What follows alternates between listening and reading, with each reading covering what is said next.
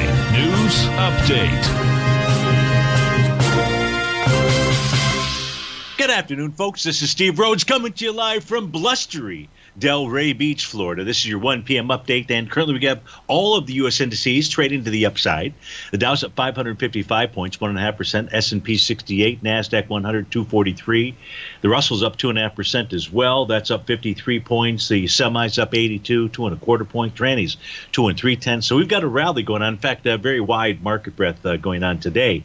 Spot volatility is falling, still above its 50-day exponential moving average. Is trading out at 2101. In fact, let's go take a look at our nine-panel market update chart. You'll see exactly where that spot VIX index is trading. Now, the 50-day exponential moving average is currently priced at 8 uh, 2049 price at 2101. If there is a close below 2049 today, that'll be a suggestion that this rally will continue. If we take a look at the ES Mini, yesterday testing two levels of support. You only see one of those on my screen. That's the bottom of the daily profile. So the first target uh, with regard to a profile is at the 4642 level. So the resistance zone from a daily standpoint is between 4642 and 4709. The NQ tested and rejected a prior swing point. It's back inside its daily profile. That suggests a move up to the 16090 level. US dollar index still consolidating with inside its daily profile, but it is still trying to break out above the top of a new daily box, and that's 9657. We're trading at 9657.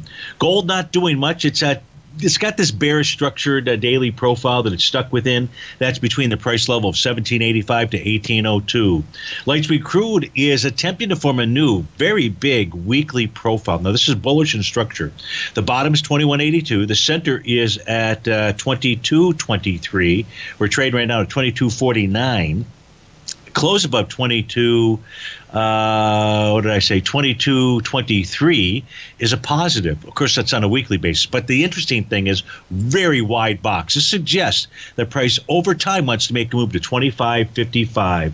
Light sweet crude consolidated with inside the bearish structure of its daily profile as well. That's between 68.79 and 72.06.